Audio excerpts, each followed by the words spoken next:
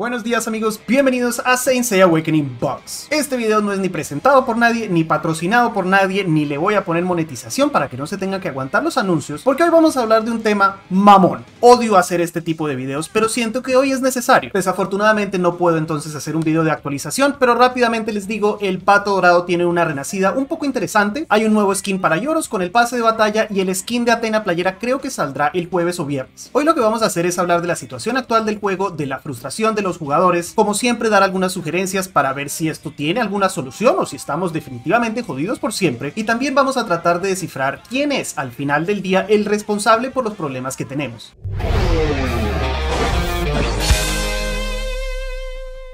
Arranquemos entonces con eso, descifrando quién es el responsable de los problemas, porque creo que sin tener esa información clara es imposible encontrar una solución. Vamos a identificar entonces los tres nombres que más vemos en estas discusiones. Estos van a ser Tencent, Yuzu Games y GT Arcade, como podemos ver acá en la pirámide de los Illuminati. Ahora, directamente olvidémonos del nombre de GT Arcade. Para los que no sabían, GT Arcade es la misma cosa que Yuzu. Yuzu es el nombre de la compañía en Asia, mientras que GT Arcade es el nombre con la que la compañía opera aquí en el occidente. GT Arcade como tal entonces no existe, es humo. Las únicas dos compañías involucradas en esto son Tencent, que es el desarrollador del juego, o sea, los que primero lo programaron, lo diseñaron, se lo inventaron, lo lanzaron en la China y que después de un año le vendieron a Yuzu, que es un publicador, los derechos de lanzar el juego en el resto del mundo. Primero empezando con Southeast Asia y después con la versión global que sería América y Europa. Ahora, Tencent es una compañía enorme. Obviamente ellos no se dedican solamente a hacer juegos de Saint ya tienen películas, tienen juegos, tienen productos, internet, etc. Adentro de esa compañía existe un pequeño estudio que se llama Timmy. Lo han visto seguramente en la introducción del juego. Este es el estudio que pertenece a Tencent y que diseñó y programó el juego. Para no complicar las cosas, no vamos a hablar de Timmy porque Tencent es mejor conocido como la gran compañía, ¿ok?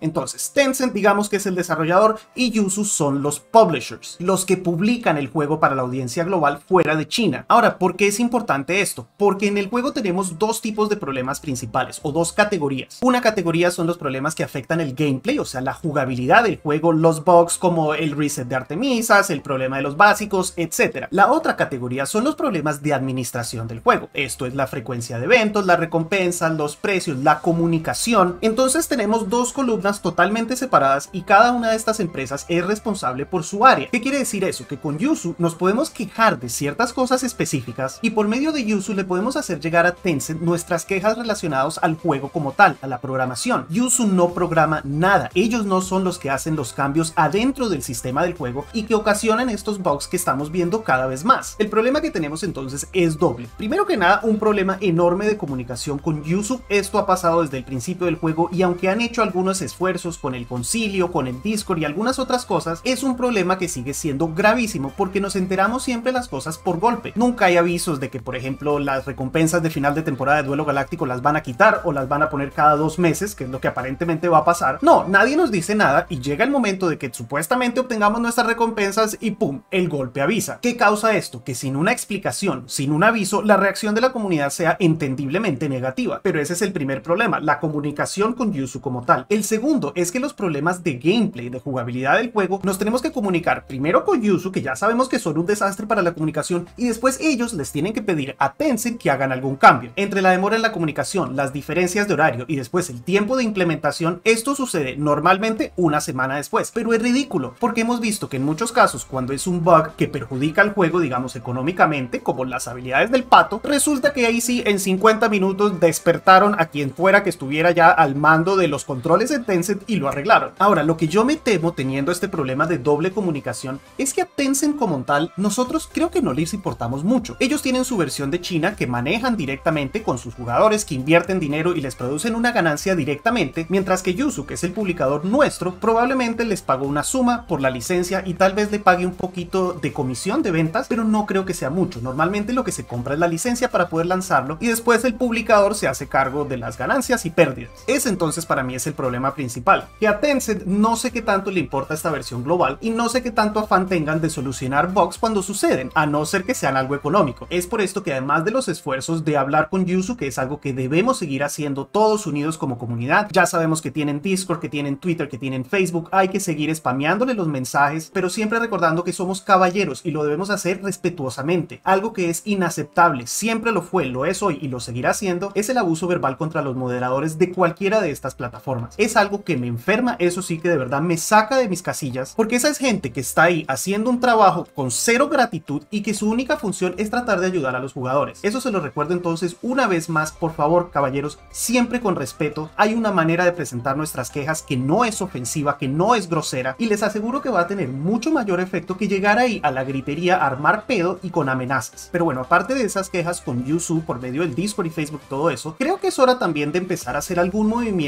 enfocado en los desarrolladores del juego, los que al final del día son los que programan estos benditos errores que estamos viendo. Porque para mí ese es el problema más grave que tiene el juego en este momento. Que no hayamos podido comprar dos tickets de PvP Melee no es el final del mundo. Y con todo y que no es el final del mundo ya lo solucionaron. No podemos estar quejándonos por cosas sin estar pendientes decidieron alguna solución, porque entonces nos estamos quejando al pedo. Ya avisaron que como no obtuvimos dos tickets este lunes van a poner cuatro tickets en vez de dos la próxima vez. Así que ahí están los dos tickets faltantes. Eso no es algo que vale la pena para mí enfocar nuestros esfuerzos porque los bugs que impiden que el juego funcione correctamente son los importantes. No puede ser que pasemos una semana con Artemisa reseteándote el celular. No puede ser que pase una semana peleando a punta de básicos en duelo galáctico. Eso no tiene sentido. En cualquier otro juego, cuando hay un bug que rompe literalmente el juego, se soluciona con un hotfix de una. No se espera una semana a que la frustración crezca y crezca y crezca y termine por explotar como estamos viendo esta semana. Aquí en la descripción les voy a dejar links para Tencent, para Timi, para Yuzu, para todas las compañías que están involucradas con este proyecto de Saint Awakening y les voy a dejar también un par de hashtags y muestras de texto que podrían enviar. No sé qué tan probable es que Tencent lea algo en español, lo dudo, así que probablemente el inglés funcione un poquito mejor. Ahí les voy a dejar un par de ejemplos, ya ustedes decidirán si quieren utilizar lo mismo o si quieren redactar algo nuevo. Ese es uno de los pasos que podemos tomar como comunidad, hacer un esfuerzo en conjunto para comunicarle a esta gente que estamos disatisfechos con lo que está pasando. La otra sugerencia que yo daría, y no me la inventé hoy, hoy salió durante el chat cuando estuvimos en el directo, es que nos den un bendito servidor de prueba para la versión global. Un lugar donde estos updates se activen primero y tengamos un chance de ir a probar a ver cómo funcionan las cosas. En China lo tienen, aunque solo para personajes nuevos, igual tienen un lugar de prueba. Sería ideal que aquí en la global nos dieran, aunque sea a nosotros, el chance de hacer el quality control, ya que Yuzu no lo hace. Es muy evidente que hacen o muy pocas o cero pruebas a la hora de lanzar los updates y es por eso que terminamos en estas situaciones estúpidas, porque algunos de los bugs se ven de una. Cuando salió lo de los básicos en Galáctico, a mí me tomó una o dos peleas encontrarme con el primer problema. En un servidor de prueba eso se hubiera detectado en 10-15 minutos. Para terminar entonces vamos a hablar de cosas específicas que ya sabemos o que arreglaron o que arreglarán. Empezando por el PvP Melee, que como les dije ya anunciaron que nos darán el doble de tickets la próxima vez por la falta de los tickets de este lunes. El bug de duelo galáctico de emparejamiento que solo nos dejaba jugar con personas de nuestro mismo servidor parece que se arregló con la actualización de hoy. También tenemos de regreso los paquetes de 90 cupones por habilidades, aunque en este caso nos dieron un caballero un poco chimbo que está disponible desde el principio del juego. Eh, todos los que llevemos tiempo jugando probablemente ya lo tenemos casi maxeado, pero debemos recordar que hay gente que está empezando. Yo al comienzo del juego con muchísimo gusto hubiera pagado 90 cupones por habilidades de los dorados. Tampoco cuando salió este paquete nos dijeron que siempre iban a ser unidades premium. Nos dijeron, el paquete volverá, pero no nos dijeron cómo. Nuevamente, problemas de comunicación. La recompensa de final de temporada, que normalmente aparece como un evento aquí abajo de cómo se llama esta mierda, fiesta del castillo,